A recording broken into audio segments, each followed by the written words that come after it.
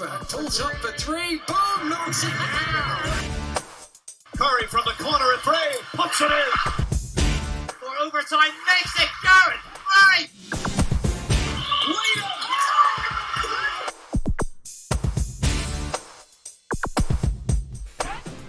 Welcome from me, Mark Woods, to the MVP cast. We're brought to you in association with Total Environmental Compliance. You can check them out at tecompliance.co.uk. Now, my guest in this edition is the former director of Glasgow Rocks and also a former director of the British Basketball League. He comes from an investment background with all sorts of business sectors that he has been involved in, but with a sideline in sport dating back to the days when he was a key advisor in the takeover of Celtic Football Club by Fergus McCann. David Low, welcome to the MVP cast. Welcome, Mark. Mark, thank you for having me. Um, you're no longer a director of the of the Rocks, but still I'm very passionate about the club. Still a shareholder. Your your sense of the temperature, though, of of both Glasgow and the situation in which we find ourselves now for for the sport as a whole. Well, I think the situation for basketball is very similar to the situation that you find with all attendance-based sports uh, in the midst of a pandemic, and that is it's a very difficult situation, a very difficult situation indeed. So, if you have an interest in basketball, you're going to be having a, a rough time in the same way as you have a, if you have an in, interest in soccer or rugby or any other sport, you'll be having a, a very rough time. Uh, more so because we don't know with any degree of clarity, you know, when the virus will end. Personally, you know, I'm saying we're going to have trouble uh, having a, a viable uh, leagues uh, until we have a vaccine, and we don't know when that's going to be. It could be a year, could be two years, but that's that's the time horizon uh, that I'm looking at uh, with the various interests I have. And give people a sense of, of what happened when effectively the shutdown came. What actions were you guys taking as a club to you know immediately preserve the, the well being of the Rocks? Well, I, I was in the, the US uh, at the end of February, uh, beginning of March, and uh, I had very I had difficulty getting home because of the virus, and that was the exact moment that I thought, you know what, this is bloody serious. you know, this virus is going to have an awful lot of ramifications.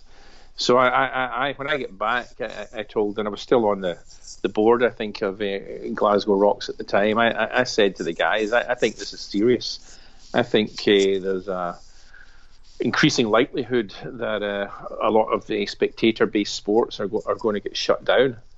And uh, that was the moment, uh, certainly I thought that uh, we better start looking at what, what we should be doing here, how we should be managing it. And, and of course, since then, it's get progressively worse, and perhaps may well get worse again. But that, that was my eh, moment in time. Uh, the end of February, I, I, I realised this was really serious. I mean, that's from a club point of view. Where do you see the challenges going forward, from particularly from a business perspective for the league? Because we've the Sunday should have been the playoff final in London, a big revenue spinner for for the BBL. That's not taking place. See clubs have certain financial constraints with their own arenas. They have interest payments on that to make. Other clubs have different commitments. What, what will be the biggest challenges from a league perspective over the next?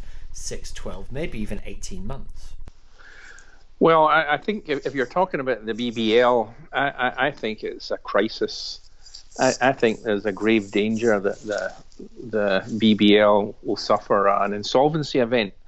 And I don't think that's a, a, a far out thing to say because basically, if you look at all sports leagues across the globe, all uh, teams and clubs in th- those leagues, basically we are all operating on a nil revenue environment, nil revenue, i.e., no money coming in for an indeterminate period of time.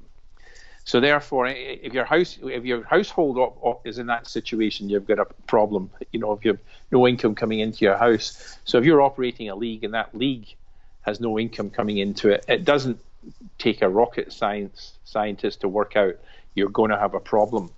And this is the situation that the BBL finds itself in, similar to the, the, Scottish Football Association or the English FA, uh, a nil revenue environment for its members. But the league, I think, has got an acute uh, problem because most of its revenue is end of season loaded. Uh, i.e., you've got your cups and you've got your playoffs, and uh, these are profit centres for, for the BBL, and they're they're not going to take place uh, this year. Uh, I, am pretty sure. Uh, I might be wrong, but I, I, I, suspect you know that these events will not take place at all. So I think that presents a, a serious problem for the the BBL. The other problem, and it's a, it's a societal or an economic problem. If you have cash or if you have access to cash in a situation such as this, uh, your prospects of surviving it are better than if you don't have any cash or if you're carrying debt. And unfortunately, the BPL, B, the BBL, sorry, is carrying debt. You know, it owes 350 grand or so to uh, six clubs, and it doesn't have any cash in the bank. So when you you put all these things together, you know, I I, I really I'd be really worried about uh, the BBL. Uh, sport, uh, there's a lot of grants kicking about, but I, I, don't know to what extent the BBL can can can uh, make use of these. But if there are grants available, certainly they should be taking those grants up. Debt, taking on debt, you know, you shouldn't really take on any debt unless you have a a means of uh, repaying that debt. I don't think it'd be right to do that. So all said, you know, I think it's going to be a very difficult environment for the BBL. Uh, and of course, de facto, you know, that's a worrying time for the clubs in the BBL because we need a league. Without a league, we don't uh, literally have a league to play in. And then each club will have its own issues to deal with as well. But I, I don't think any of this is good. I don't think there's any silver lining anywhere. And I think we all have to be, all stakeholders in uh, basketball in, in the UK have to be worried as are stakeholders in soccer and rugby uh, and other sports as well.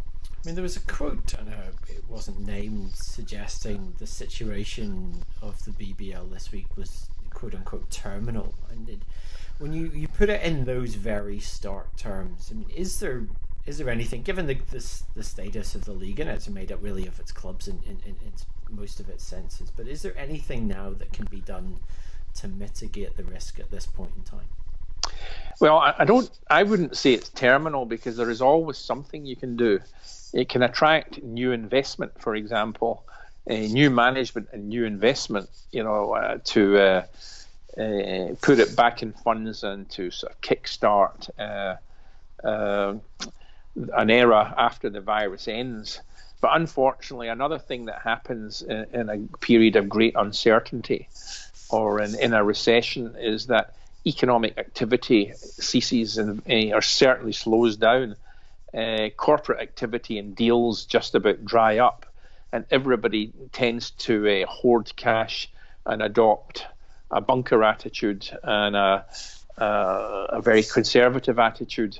And that's what we have just now uh, a very uh, negative attitude per, pervading the whole economy of which sport, you know, itself is, is, is caught up in. That doesn't last forever. Uh, attitudes do change, recoveries do take place.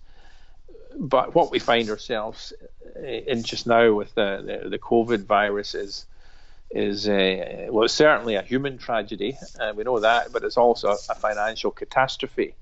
And I, I don't think uh, we're anywhere near the recovery phase yet. I still think uh, that this negative attitude is going to prevail for some considerable amount of time. And I think spectator based sports are going to be amongst the last areas to uh, see any relaxation in the lockdown rules, etc. I, I, don't really see see big crowds congregating anywhere, be it gigs, cinemas, gyms, uh, soccer games, or, or basketball. So I think we're in a sector that's going to be last to come out of this, and it's going to be very difficult for all stakeholders in this space. because it's not going to be, and this is from people I've, I've spoken to, it's not going to just be about the regulations and the restrictions on spectators. It will be a cultural, psychological hurdle that sport and theatre and cinema, etc., have to overcome to persuade people to sit indoors in groups and watch. Yes. Something. Well, this is true. I mean, there's, there's several different different attitudes you can have you can have a, a devil may care attitude. You tend to have a devil may care attitude. The younger you are, younger people are less concerned about the, the, the type of uh, this type of environment.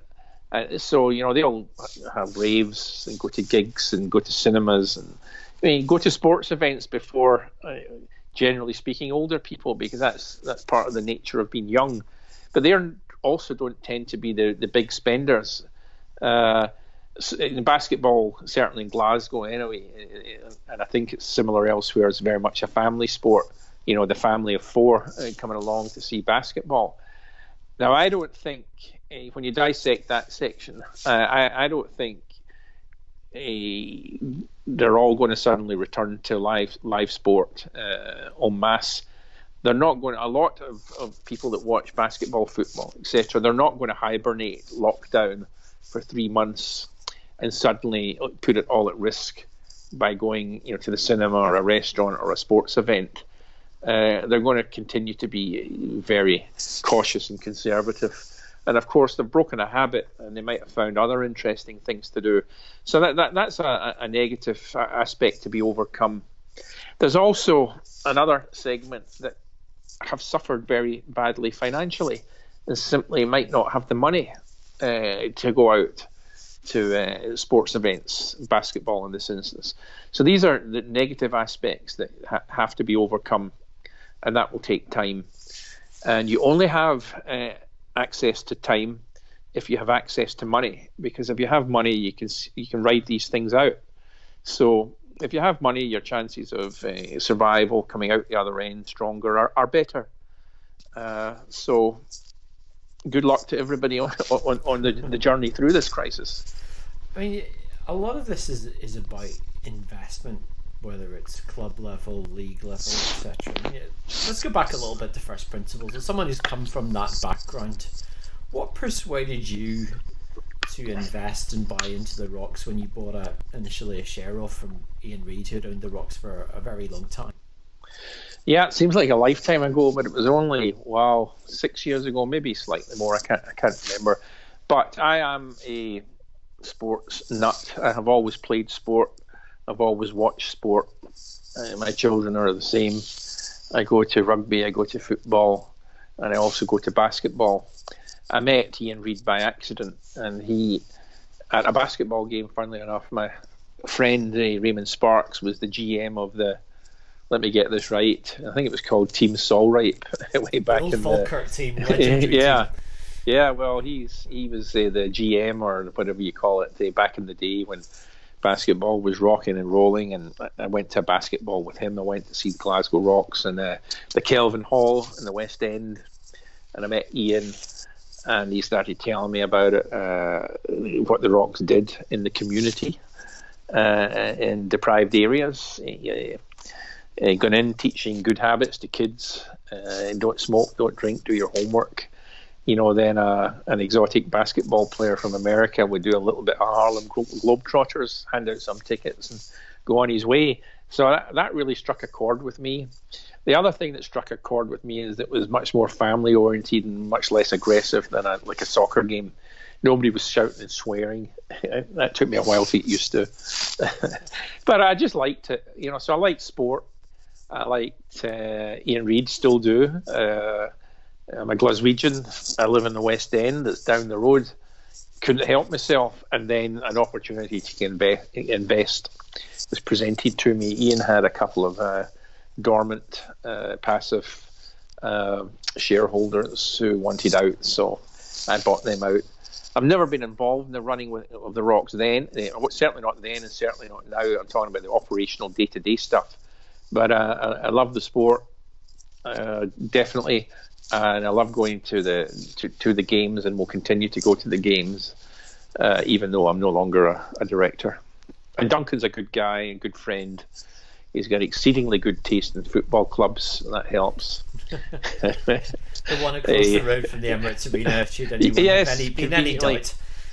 In fact, he once told me the only reason why you bought the Rocks is so you could get a parking space for Celtic. Quite convenient. If anyone doesn't know, it's right across the road. I think there'll be some people down in, down, down in the or uh, the other teams that probably think that's true. But there you go. When you when you look at it though, I mean, inevitably you can judge these things with your heart and what you believe is, is good work and everything there. But from, from you're always going to have that prism of investment. How do you did you view the rocks then from an investment point of view? And I guess how would you view British basketball as an investment proposition? Well, that's an interesting question, yes, because I am a, an investor, a, a private equity guy, and I can't help it. I cannot help, uh, you know, seeing everything that I'm involved in through the prism of a of it, of it being an investment. So I, I, I I own up to that. But at the end of the day, it's a relatively modest investment. The investment wasn't genuinely wasn't made on investment grounds. You know, I wasn't expecting of turning X into Y, uh, and uh, and suddenly, you know, being making a lot of money. The, the investment's not large enough to, to, to have that significance for me, but it is an investment. That's it's true to say that. What, what I found was that uh, there was a real hodgepodge of clubs in the league. There were some that had been a there's a core that have been around forever and a day, and then and, and we know who they are in no particular order. It's what is it? It's going south. It's Newcastle, uh, Leicester, Sheffield, London. Uh, I would, I would I would include Plymouth in that. They're they're relatively newer newer, but the the, the rest are are just are, are not in the same category. They're they're sort of newcomers of a fashion. Don't have the same level of uh, of depth uh, involvement uh, as the clubs I've just mentioned previously. But over time, and I've also found, and one of the first things I came across was an attempted takeover by I can't remember his name. Who was it? Uh, a guy, Hugh Morgan. That's who it was. And then I get accidentally involved involved in that. I mean, that was ridiculous. I found out that the BBL only had a one-year rolling license to play basketball. So Glasgow was in a, a league with a one-year rolling license to play basketball, and if that license didn't exist, you know, we, we would basically have a team without a league to play in. So I found that a bit alarming. And then Hugh Morgan, and I'm, I'm, trying to be very delicate in what I'm saying here, was I think I'm correct in saying chief executive of Basketball England, and he got himself involved in a consortium that wanted to uh, take the license off the BBL and award it to a group that he was involved in. So I got involved in uh, in uh, trying to prevent that with Kevin Routledge, who was the other individual involved, uh, the sh- shareholder in uh, Leicester, and uh, we succeeded in doing that. But that, that's not something I envisaged. An attempted takeover of the league, of, which the team had just invested in, but it sort of trolled me even more into the sort of politics uh, and the investment corporate aspect of basketball completely unexpectedly.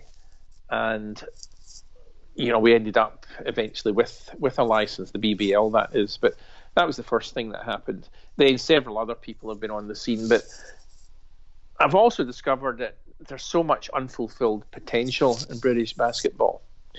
Uh, but in order to fulfill that, uh, it really does need investment.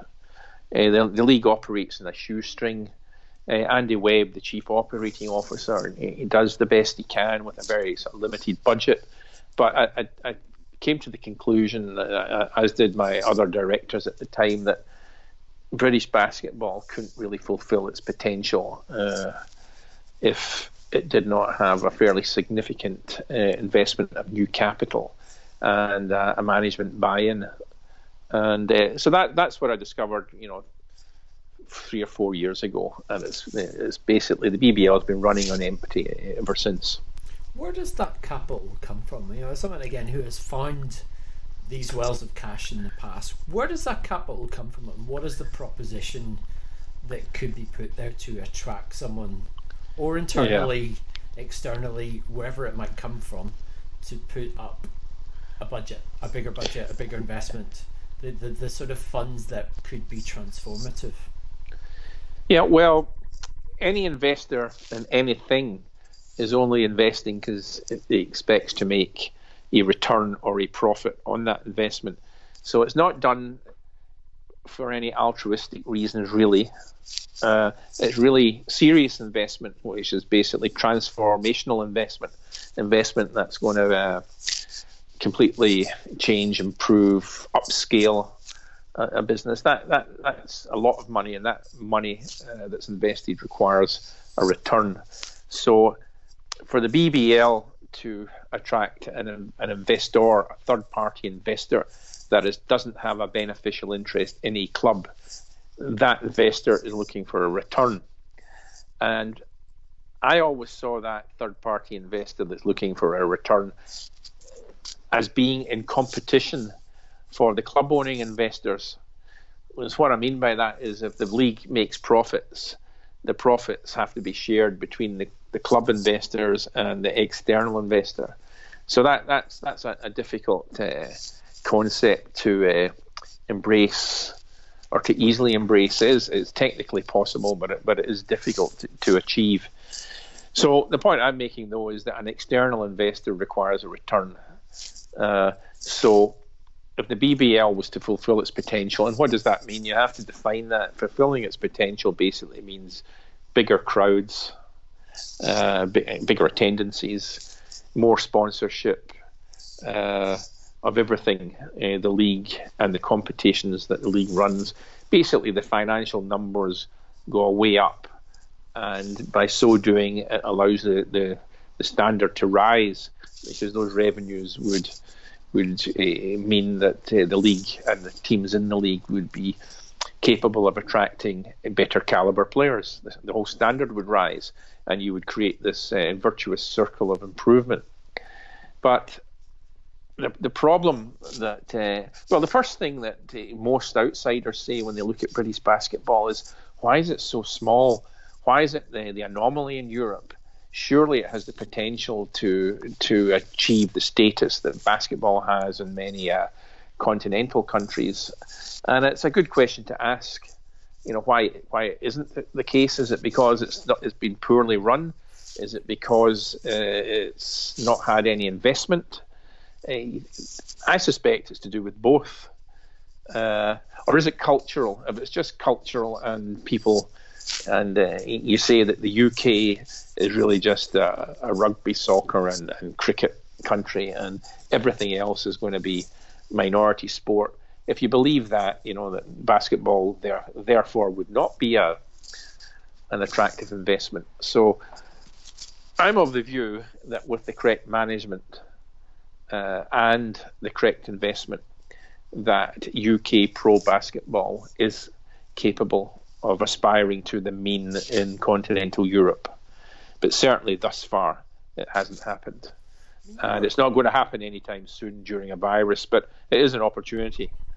Sorry, I interrupted you. you. no, you were on the board, obviously, of the BBL for quite some time. And you know, there's always been a recognition of external investment, and there's always been. You referred to Hugh Morgan's plan, which rapidly fell apart. There's there's been other people have sniffed around this this league over, over the years. It's not nothing's really come to it, but you've seen the likes of CVC buying into rugby through the you know the Pro Pro 14 and, and Six Nations etc. So there are there are groups out there who who see opportunity in sport.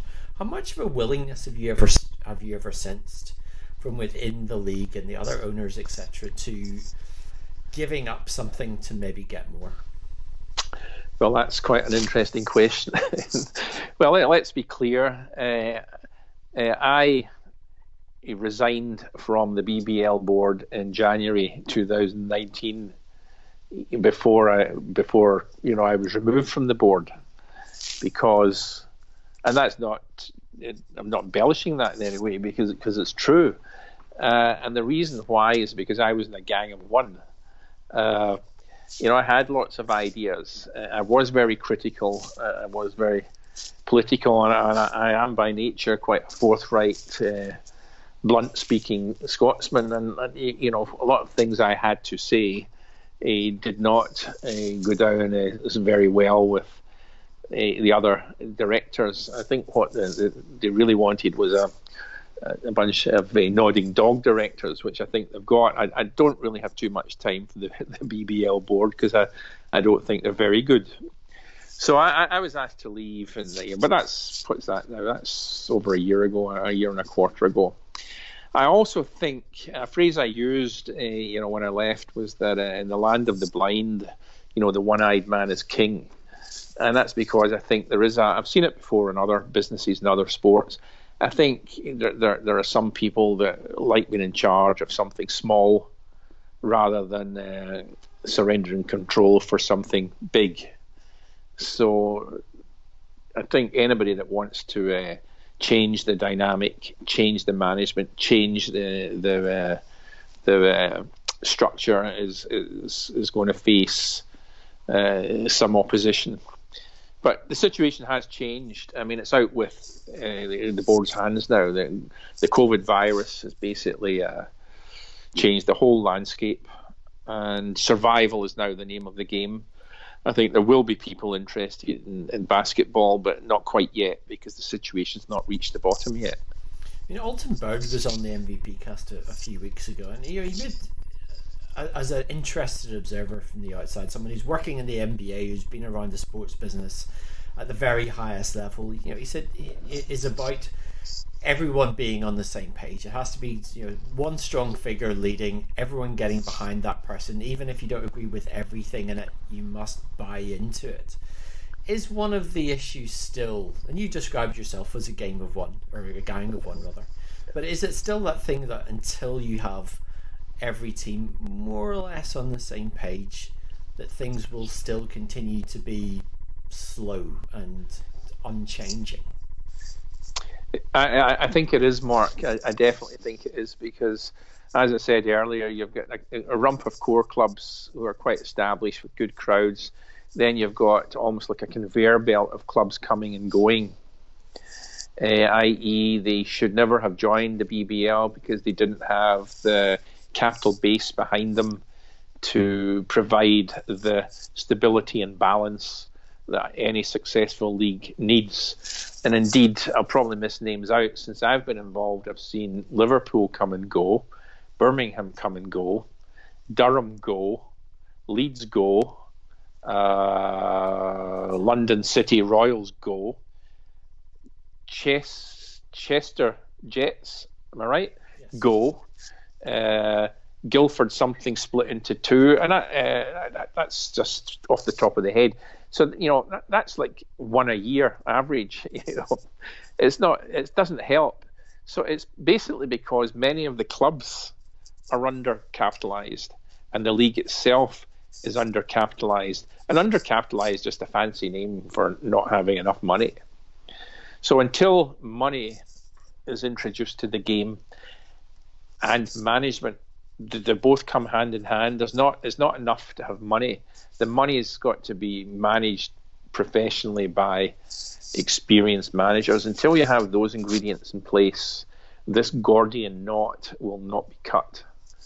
Uh, but I do think the the the, the COVID situation has sort of, uh, freed up uh, the whole landscape for professional sport right across the board, not just basketball as well as businesses. It's, it's a real serious game changer, and uh, you've got to make sure you have uh, the right uh, management, money, uh, balance sheet in place if you want to be around when we all come out of it. But to answer your question, I, I, I think uh, the BBL and the clubs in it's pretty lopsided and lacks stability, and I've just given you an example that I think justifies the statement I've just made. If you were on that board now, I mean, given that we're in crisis management mode and in so many industries, and basketball being being just one of many, what what's the short term play, and what's the long term play in this difficult situation? Well, the short term play is survival. Uh, you want to be around, but then again, if you want to be around, you still need what I said there: money and management just to stay in the game. If you don't have any money, I, I think you're in serious risk of uh, suffering an insolvency event. And, in the BBL's case, you know, if we suffer an insolvency event, terms of the license uh, with the BBF, is that you know the license is surrendered. So I, I think it's a very delicate uh, moment in time for the BBL. I don't think I'm the only person saying that. I might be the only person that's saying it publicly, but I don't think I'm the only person that's saying that and knows that. Uh, so I think it's very challenging times for professional basketball. It may well be very challenging times for uh, for some or all of the teams, uh, clubs uh, in in the league. But uh, no, it's difficult. But everybody knows that. If if the BBL survives this, and we all hope it does, and clubs can get back at some point onto the court, do you think that fundamentally th- this is the time, and possibly a most essential time, but possibly the time where clubs will feel compelled to go to stand back from this, listen to the advice and the various pronouncements from from you, from pundits like me, from former players like Alton Byrd, to say, hold on, we really need to redefine this, reshape it, redraw it, and and alter maybe 180 degrees from what has been done before. Yeah, I mean, everybody that uh, interested in basketball, you, you know, will have to. Uh, well, well, I'm sure they'll say, they'll share similar views to what I'm saying, uh, but the difference being, you know, not too many see it publicly. But I, I, think it needs investment, and I think everybody has to go out and uh, and look for investment. The structure of the, I think there will be internal pressures as well because the ownership structure is evolving all the time. We have, well, I think like to think, you know, we have a, a very strong board in Glasgow Rocks. Uh, all the guys that are uh, directors of the club you know, are, are, wealthy in their own right and have access to money. I think we're pretty safe in terms of survival. Uh, we're a wee bit more worried about, you know, whether there's a league to play in. But I'm just going through the, the leagues, that, uh, the teams that I can remember. I think, uh, you know, Paul Blake in, in Newcastle runs a, a superbly professional organisation. Uh, you know, Leicester's a, seems to be a pretty well-run uh, situation as well. But a lot of the clubs, you know, just don't have the the, the capital base, and it's difficult. The challenge here for the league and the teams in the league is to find money. Now, I, I spend a lot of time in the States. As I said, I, I just managed to get home for a near lockdown. I've spoken to uh, several private equity companies in the States. Uh, I've given them the, the speech about uh, this is a fantastic opportunity to you know grow a sport from grassroots level. But the problem, and if once that's accepted, the problem is it's so small. They're saying, "Hey, Dave, you know, even if uh, the investment goes up tenfold in value, it's still tiny." You know, so it's just it's so small, and I think that's the the impediment to attracting uh, investors of the, the type of CVC and, and BlackRock. Uh, I don't really think you know private equity companies of that size, even though they've invested in much larger sports, would, be interested in the BBL or pro bas- pro men's basketball eh, in the UK. I think it's just too small for too many. Uh, but it is an opportunity with a relatively modest investment. I mean, I've considered investing it, but uh, I, again, I, have not, I've not got the time. I, would need a partner. Uh, I, I, would certainly invest in the right proposition, but I, I would need sort of partners. The the the time is right. You know, if you believe in the, the, the basketball uh, has tremendous upside potential, now, now's the time to do it because you, you won't have this opportunity again. Uh, so I, am always optimistic, but uh, uh, it's difficult. what What is your? I mean, since we talked about this, this season's not officially cancelled yet. Let's be honest about it. It's cancelled. It's done no one sees this coming back, even if it may be the autumn, but the season as we knew it is over on this. Do you think that there will be pressure next year to, or, or should there be pressure even to reduce budgets for a year, to retrench even? Or would that be the mistake of all mistakes to to kind of run things down for a year to somehow recover from the losses or the, the trouble that everyone has made?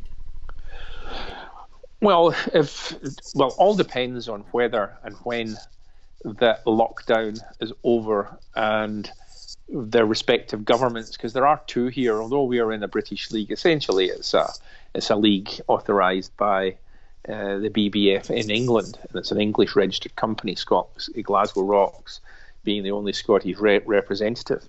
And we have two governments.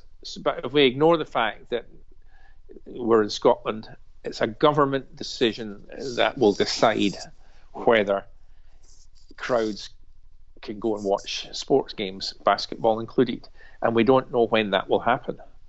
Uh, this R number that everybody's familiar with, we don't know what, what will happen and when uh, people will be allowed to congregate indoors watching basketball. So that the longer that that is not possible, the more the more uh, difficult the situation becomes for not only the league but the teams in the league. So what it means is certainly you can free all your players. I mean, I don't know what the situation is with the teams, whether even if the league opened, which it will reopen, which it won't, you could suddenly commandeer a bunch of players to finish it. Certainly, as far as I'm aware, all Glasgow Rocks players are all out, out of contract, but the foreign ones are away home. Um, what caliber of player can you afford to put on the court when you have zero revenue coming into your club? Because this is an attendance based sport first and foremost and it's attendance based sports that are suffering the most. The ones that are over reliant on match or game day income and discretionary income for uh, hot dogs and beers they're the ones that are most financially precarious so I, I, I don't know what type of player a basketball team could uh, in the BBL could afford to put on the court uh, in a in the current environment that we have. I think budgets are bound to fall uh, down. I, I, can't see any other way. Another reason why clubs and the and the, the BBL are, are, are, so precarious at the moment is they are certainly in the BBL's case uh, totally reliant on game day income. There is no television television broadcast contract, and frankly, that is an indictment on the board. That's a failure. None of the competitions are sponsored, have a major sponsor. That's an indictment on the board. It's really uh, a quite an appalling situation, and one that they're paying the price for, because the BBL has no money coming in.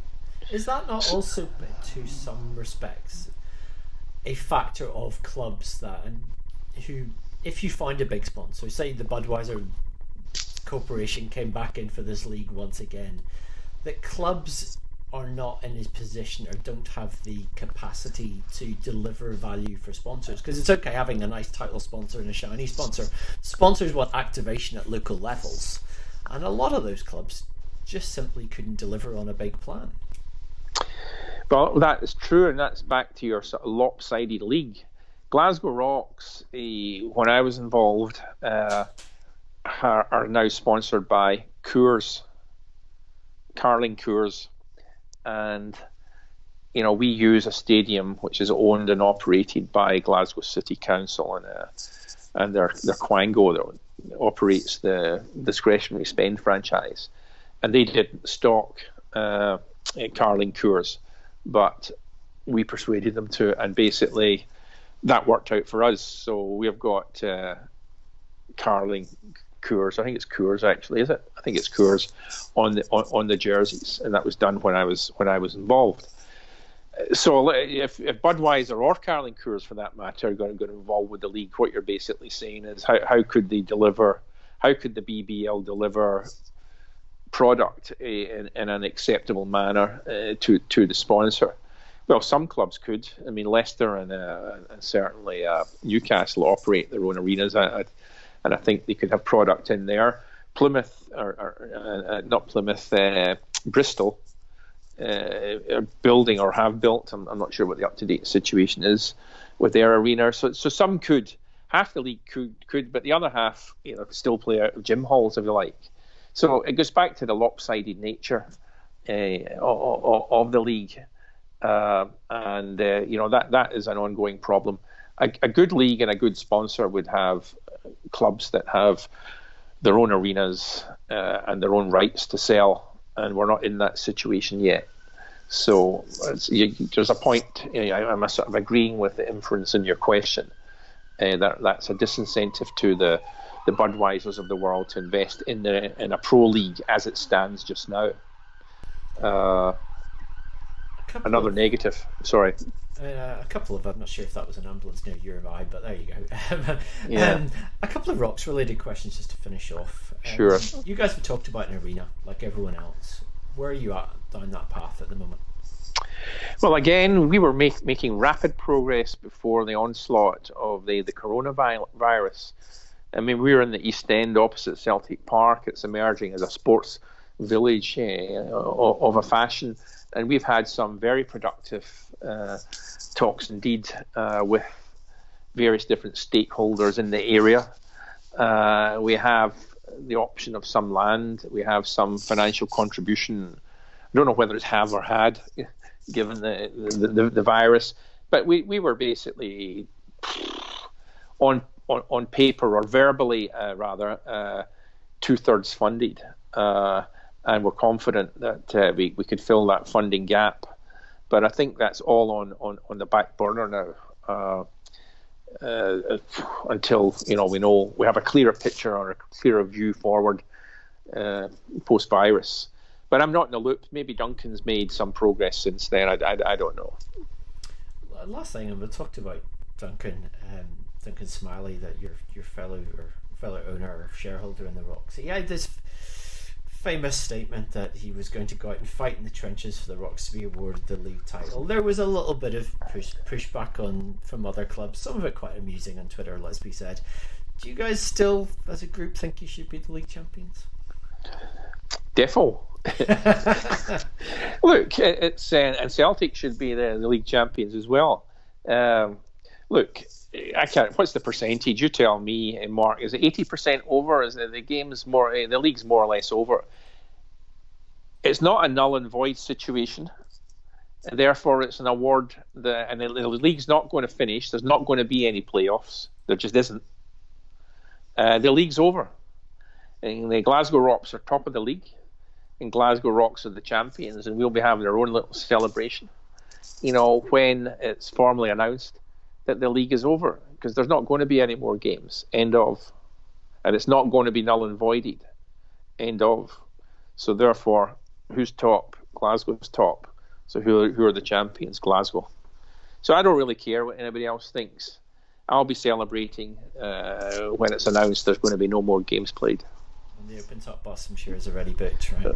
Yeah, well, I don't know about that. David, um, it's been very interesting listening to about the business of basketball and uh, the thoughts on where this might go. Um, stay safe, and uh, we'll see you, I'm sure, when a new season eventually comes. Thank you, and stay safe as well. Thanks, David. That's it for this edition of the MVP cast brought to you in association with Total Environmental Compliance please check them out at tecompliance.co.uk. All our previous editions available at mvp247.com or via your preferred podcast provider. Please do leave us a review, preferably a nice one. Another MVP cast coming very soon. But for me, Mark Woods, stay safe and alert. It's bye for now.